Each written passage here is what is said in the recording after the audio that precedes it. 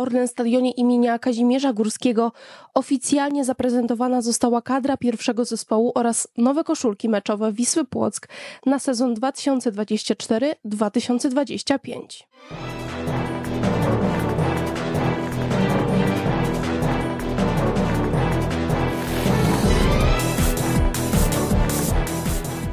Konferencjer prowadzący wydarzenie zapalił flarę na boisku, która wskazywała miejsce lądowania.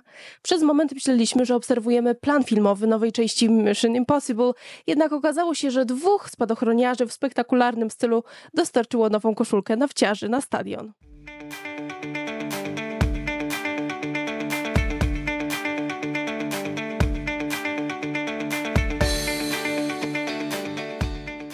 Po widowiskowym skoku ze spadochronem zaprezentowano nowy skład nawciarzy oraz kadry szkoleniowej.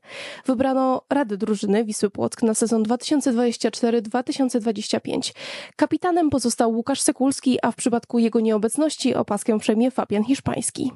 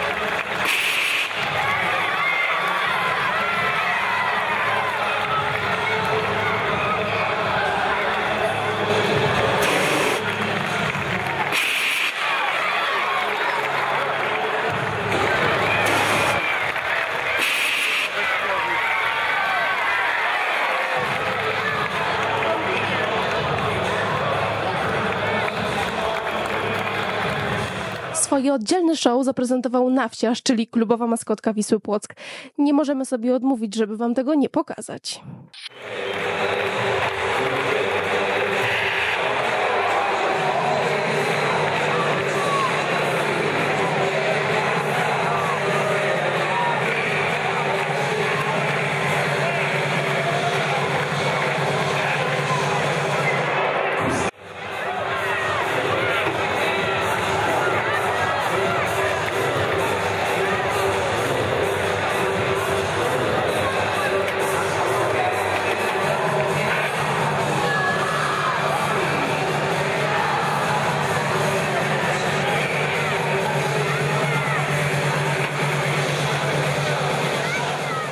Już jutro o 12 drużyna nawciarzy rozegra swój pierwszy mecz w Betclick pierwszej lidze. Trzymamy kciuki za wygraną.